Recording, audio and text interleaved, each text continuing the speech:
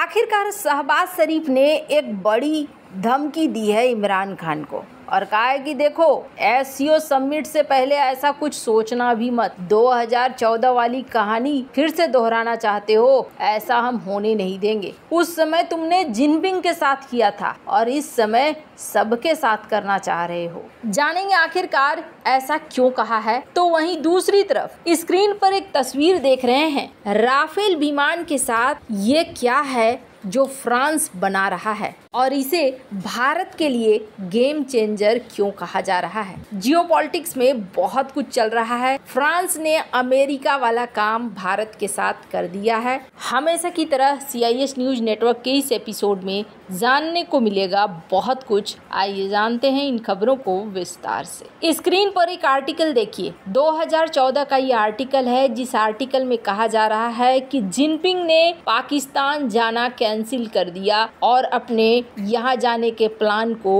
वो फ़िलहाल के लिए डिले कर देते हैं। अल जजीरा की एक खबर देखिए, जिसमें ये कहा जा रहा है कि यहाँ पर चाइना के प्रेसिडेंट ने पोस्टपोन कर दिया पाकिस्तान का ट्रिप। आखिर 2014 में ऐसा क्या हुआ था जिसकी वजह से यहाँ पर जिनपिंग और पाकिस्तान के उस समय के प्रधानमंत्री नवाज़ शरीफ के बीच करीब 46 बिलियन डॉलर का कॉन्ट्रैक्ट साइन होना था, लेकिन वो कॉन्ट्रैक्ट साइन नहीं हुआ। अब अचानक से एस सम्मेलन होने वाला है और एस सम्मेलन के पहले शहबाज शरीफ इमरान खान को चेतावनी दे रहे हैं। लेकिन अभी ऐसा है ना, पाकिस्तान का पूरा माहौल और पूरे पत्ते ऐसे बिछे हुए हैं कि इमरान खान के लिए सबसे बढ़िया समय अभी ही है काम करने का एक्शन लेने का। कैसे?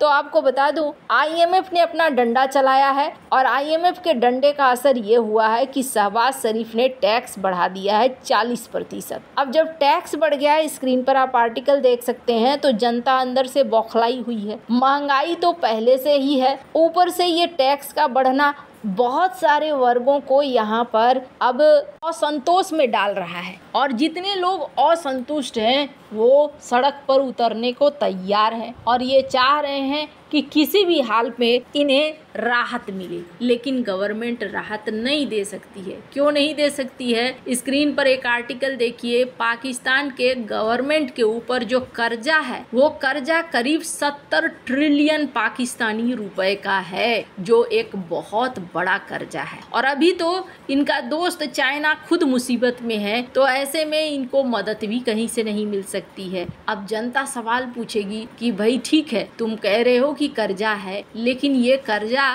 तुमने क्यों लिया है? सवाल ये उठता है, इतने सालों से पाकिस्तान की जनता के लिए क्या किया गया है? उन्हें क्यों नहीं एक अच्छा जीवन मिला है? अगर आप एक अच्छे जीवन में रहते और बहुत सारा उन्नति करके बैठे हुए होते तो जनता सवाल नहीं करती कि हाँ जी, कर्जा है तो धीरे धीरे चुका देंगे। एक अच्छी लाइफ स्टाइल जी तो रहे हैं हम, लेकिन वो भी नहीं है। तो पाकिस्तान की जनता के बीच में पहले से ही समस्याएँ हैं, और इस समस्या का फ़ायदा इमरान खान बहुत अच्छे से उठा रहे हैं। इमरान खान जानते हैं कि इस वक्त एक ऐसा माहौल बना हुआ है कि हम यहाँ पर प्रोटेस्ट कर सकते हैं और यहाँ पर प्रोटेस्ट शुरू हो चुका है। कहा जा रहा है कि शुक्रवार से शनिवार तक पीटीआई समर्थकों और कार्यकर्ताओं की इस्लामाबाद और लाहौर में सुरक्षा कर्मियों के साथ झड़प भी हो गई। पार्टी के कई कार्यकर्ताओं को गिरफ़्तार भी कर लिया गया और इमरान खान और उनके समर्थकों के खिलाफ नए मामले भी दर्ज हो गए। अब इसी बीच इन्होंने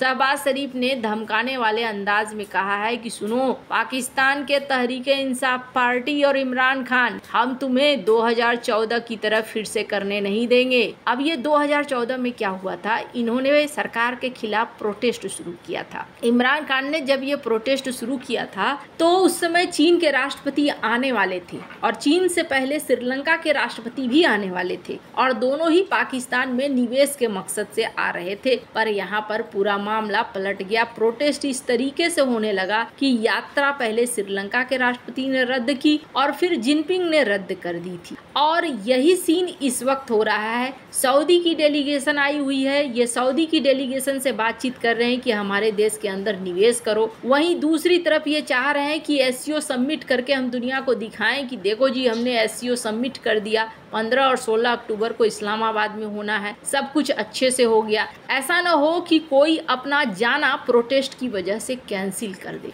वहीं एक वर्ष से अधिक समय से रावलपिंडी की अदियाला जेल में बंद खान ने अपनी पार्टी से डी चौक पर ही रैली आयोजित करने को कहा है। 2014 में डी चौक पे 126 दिनों का धरना दिया गया था, जिसके कारण चीन के राष्ट्रपति सी जिनपिंग को अपनी पाकिस्तान यात्रा स्थगित करनी पड़ी। इस्लामाबाद में अभी माहौल एकदम खराब है। और अभी क्या है? अभी चीन के प्रधानमंत्री एक बार फिर द्विपक्षीय यात्रा कर रहे हैं। राष्ट्रपति तो नहीं आ रहे, लेकिन चीन के प्रधानमंत्री यहाँ पर आ रहे हैं। और ऐसा लगता है कि इस बार भी इमरान खान गुड़ गोबर करने वाले हैं। अब देखना होगा आगे क्या क्या चीज़ें होती हैं, पर इन सब के बीच में फ्रांस और भारत ने कमाल कर दिया है। एकदम बहुत बढ़िया। भारत, रूस के साथ काफ़ी लंबी साझेदारी भारत की रही है और आज भी है, पर अब रूस थोड़ा धीमा होने लगा है। चाहे वो युद्ध की वजह से हो या फिर आर्थिक प्रतिबंधों की वजह से हो पर